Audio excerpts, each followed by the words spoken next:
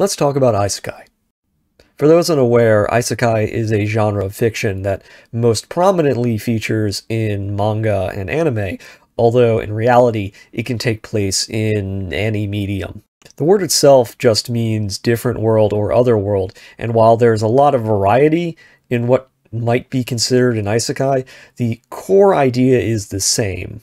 You take something or someone from one world and you move it into the other. That's really all you need to do to make it an isekai.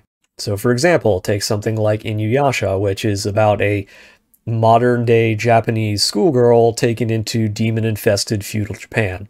Or you can take something like Digimon, which is about a bunch of children being moved into a digital world. The idea has been around for so long and been done so many ways that even the idea of the reverse isekai exists, where rather than take something from one world and move it into a different one, you take something from that other world and move it into what is quote unquote our world. So in a way, Lovecraft wrote Isekai when he was writing about great old ones coming into our world. But most of these works are not going to be the problem. In fact, most isekai are not the problem. The problem that we're talking about today refers to a very specific genre of isekai, that of the reincarnation isekai. The core concept of the isekai is still true to generic isekai. The only specific thing about it is that the character reincarnates. Either the character dies and thus is reincarnated into a new body, or they wake up in the body of somebody who has already been established. And there are a lot of different kinds of reincarnation isekai. Specifically, you have an entire subgenre where people wake up as various monsters, or maybe they wake up as a specific character in a manga or anime, or maybe they just wake up as a person who is living a completely different life in a completely different world. There's a lot of different kinds of reincarnation isekai. But there is one thing that all of these series tend to have in common, and that's that they're narratively lazy. I don't mean that they're inherently bad or unenjoyable. What I mean is that they use the concept of reincarnation in order to subvert the normal way of telling stories, and as a result, they all sort of collapse inward on themselves. By not conforming to a normal story structure, a lot of them end up being nothing more than power fantasies about characters who are stronger, smarter, better, or just well loved by everyone. In other words, it's a genre that idolizes the Mary Sue. Now, to really understand what I'm trying to say, you first need to understand how stories are told and why they use the structure that they do. So to begin, the most basic definition of a plot is something acts upon something else, and we want to know why. Every part of this definition is important. To start with, we need something to act upon something else, some kind of conflict that's going to move the story along. Sometimes this means the main character is acting upon something else because he wants or needs something. Sometimes this means that something is acting on the protagonist, and we, as a result, are going to watch them deal with or overcome whatever is acting upon them. We also need to convince the audience that they want to know why this is happening. A man who gets bills is not a plot. Rain that falls on a house is not a plot. Things are acting upon other things, but because we don't really care about why, it's not a plot line.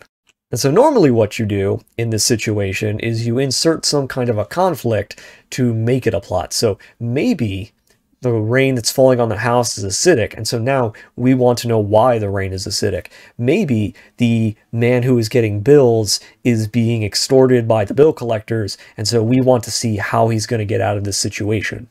Whatever your plot line actually is, you need a certain amount of structure to make it work. The most basic kind is that you have rising action as things increase in tension, you have a climax, and then you have a resolution, and that's your whole story. During the point that we might call the plot, the rising action, barriers are set up, consequences are revealed, smaller problems are either revealed or dealt with. There's a whole lot of stuff that has to go on that's going to get in the way of your character getting to the climax where the ultimate problem that he's trying to solve is solved one way or the other. In fact, it's entirely normal to have many different versions of this structure in your story. It's entirely normal to have various climaxes that are smaller in the course of your story. So for example, let's take something like Dragon Ball Z, which is probably the definitive idea of what a shonen anime is. So let's ask the question, how is the story structured? Let's look at specifically the Namek arc. What is the problem that the main characters want to solve? people are dead and they can't do that on their own planet. So they need to go on a journey to somewhere where they can get a magical thing that will then allow them to solve their problem of all their friends being dead. Now, once they actually get to Namek, you start seeing these little smaller story structures where they have smaller problems that they then need to deal with on their way to solving the major problem. There are already people there, they're already dangerous, they need to train or get stronger so they can solve these tiny problems on their way to their ultimate goal. Everything is specifically designed to add up to the confrontation with the big bad evil guy, that being Frieza. So let's look at this even in a more focused way. Let's look at just Goku's arc. So Goku has a problem. He wants to bring his friends back to life. To do this, he needs to go to Namek. On his way to Namek, he trains to get stronger, and when he shows up on Namek, he reveals how much stronger he's gotten by defeating opponents that other opponents in the past that were roughly equal to him struggled with. However, rather than go directly to the big bad evil guy, Frieza, he first has to deal with Ginyu, which during the fight with him, he is severely weakened and taken out of the action. He then has to recover before ultimately going back to fight Frieza at the end. It should be noted that he doesn't just go and beat Frieza. Before he can get the power to do that, he has one more problem that's thrown his way, that of the death of his friend. The death of his friend directly causes him to have the power to be able to defeat the big bad evil guy. And that sort of thing is really important. Notice how he doesn't just go and defeat Frieza. There has to be a consequence of him not being strong enough to do that, that being the death of his friend. And then the death of his friend, that consequence, directly leads into him getting the power that allows him to defeat Frieza. For another, he's also shown to be fallible.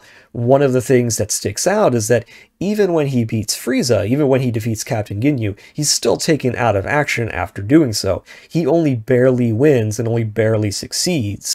This is because the series understands that a challenge is only a challenge and a problem is only satisfying when you overcome it, when it's actually hard to deal with, which is something that most reincarnation isekai do not understand. Were Dragon Ball Z a reincarnation isekai, they would throw out all of that tension and conflict, and instead just have Goku immediately arrive on Namek, go to fight Frieza, and win.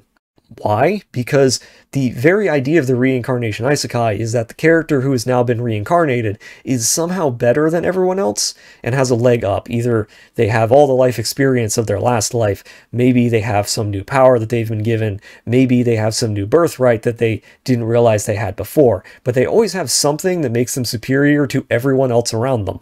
Except this is often taken to an extreme where conflict does not and cannot occur. For example, in the series entitled That Time I Was Reincarnated into a Slime, the main character regularly develops new powers and demonstrates abilities that everyone else claims should be impossible.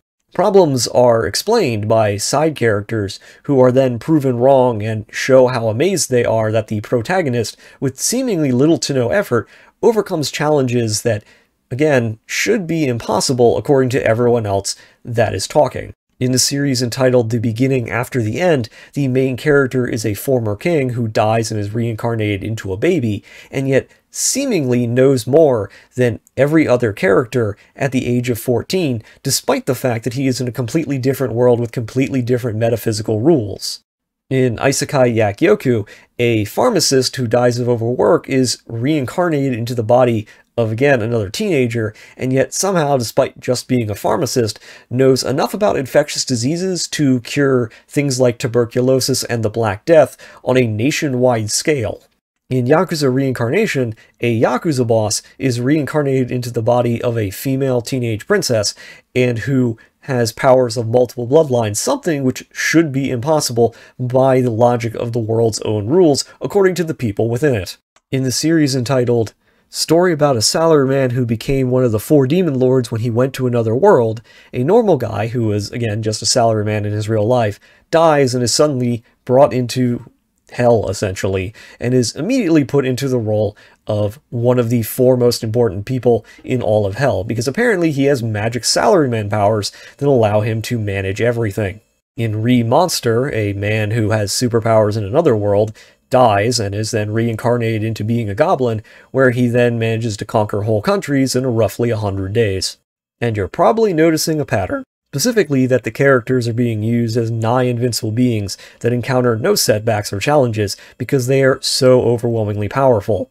There's never any kind of conflict or drama because the main characters are never allowed to show any weakness, they're never allowed to be held back, they're never allowed to be in a position where they aren't the strongest person in the room. To put it another way, imagine if in a game like Dark Souls, rather than starting as a level 1 character and having to grind your way to being stronger, you start as a max level character with the best armor and gear, and then just steamrolled across the entire game. It wouldn't be that much fun to play. In fact, it wouldn't be that memorable at all, and you probably would get really bored really quickly. And we haven't even gotten into the fact that most of these series are also harem mangas. You see, it's not enough for the main characters to be nigh unkillable godlike beings who everyone looks up to and everyone praises and who is never allowed to show weakness at any time. Oh no. They also need to be having sex with everyone too. Much like how every male character is relegated talking about how strong and impressive our male main character is, almost all of the female characters are relegated to talking about how attractive they are and how much they want to be with them. And in case you're wondering, no, it's really not interesting to read about a character who everybody loves and is super attractive and super awesome and who the bad guys always underestimate before being easily defeated by the protagonist. It's not interesting at all. And it really goes beyond power fantasy. A lot of these main characters and a lot of these reincarnation isekai are so perfect and so overpowered and so well loved and constantly talked up that it borders on fetishistic. Part of the problem is that it's a glorification of a specific kind of fantasy, specifically where you are a normal, boring person, and then, despite all of this, despite your averageness, die and become a god in the next one.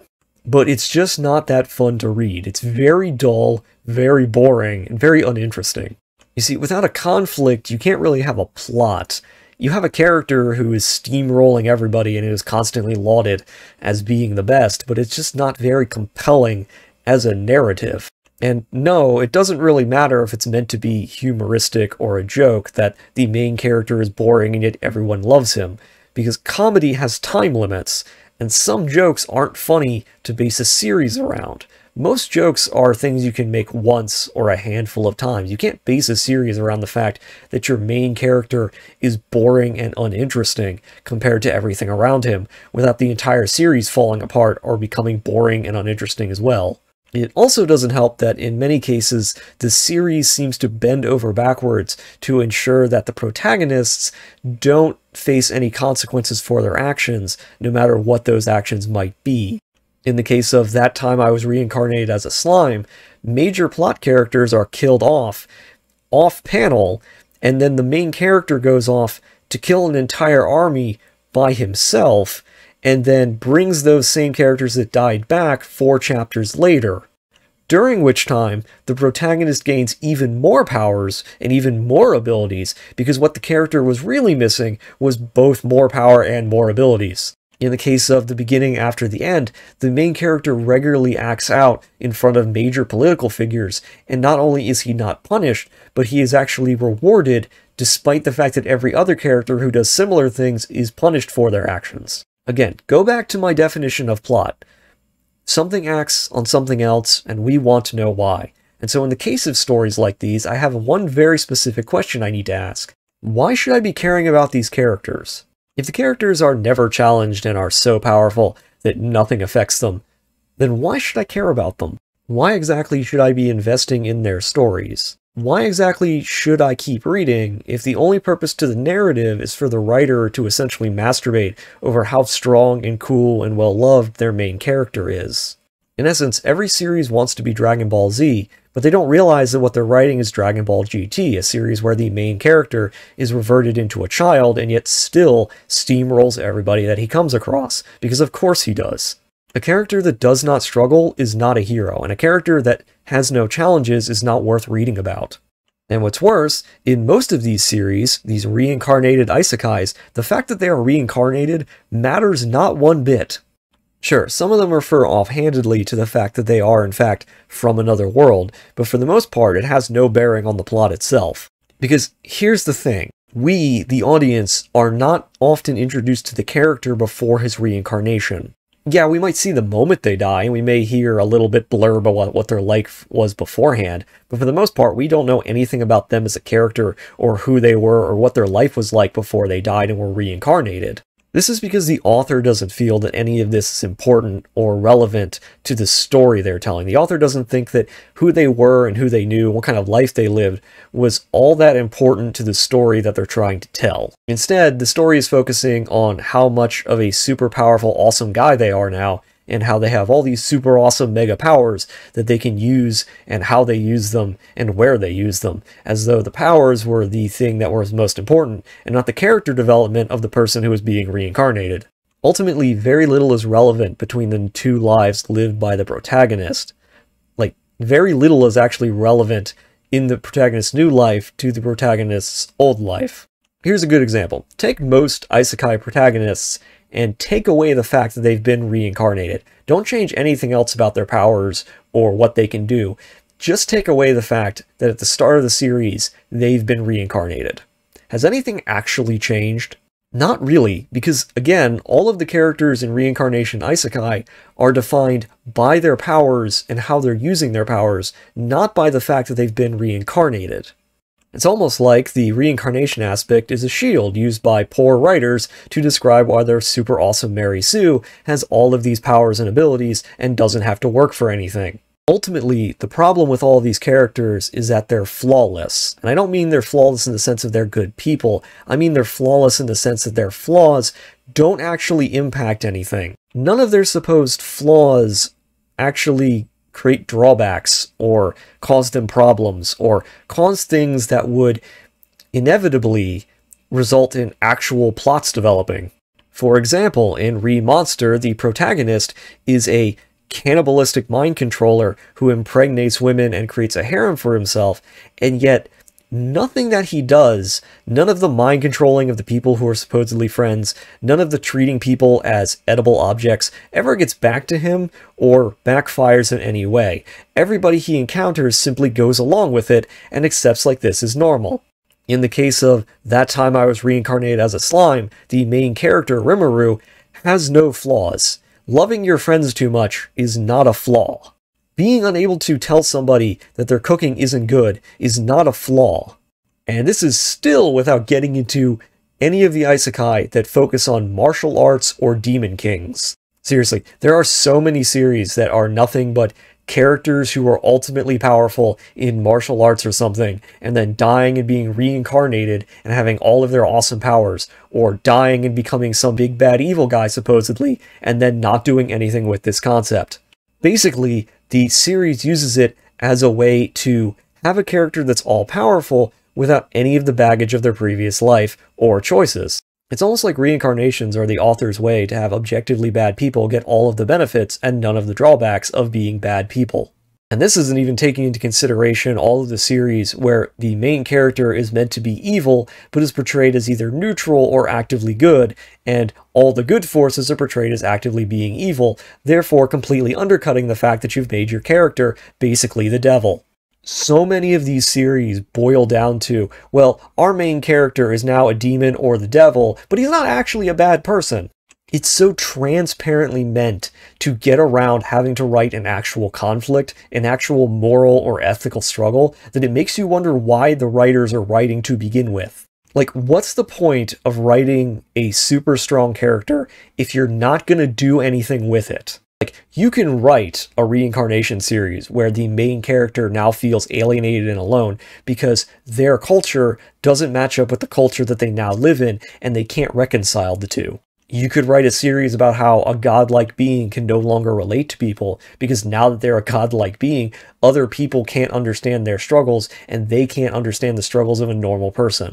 You can write a story about a character that seeks strength to help other people only to realize that there are limits to how much good the kind of paternalistic approach to solving problems is, to the point where people become codependent and they can no longer solve their own problems because they're relying on the ultra powerful hero to do everything for them. You can write a character that's super powerful and is infatuated with the idea of a normal person because they are so powerful, but they can't actually relate to a normal person because of their power. And so they're constantly seeking the idea of a normal person without ever actually being able to attain it. There are so many good stories that you can use to write a super powerful character that aren't objectively bad garbage designed to prop up the writer's Mary Sue character. But this requires that the writer actually wants to challenge their protagonist and actually have them deal with conflicts and actually have them stumble along the way and not just focus on the fact that they have a billion awesome powers that they constantly want to show off. Without any conflict, without any struggle, there's nothing to invest in. There's no hook to grab us and make us interested in the character or the world that they live in. It's just a race to the bottom where characters become ultra powerful gods and then the series basically collapses in on itself. Really, why would anyone want to read about a character who doesn't have problems, who everyone adores, and basically doesn't face any challenge in their life?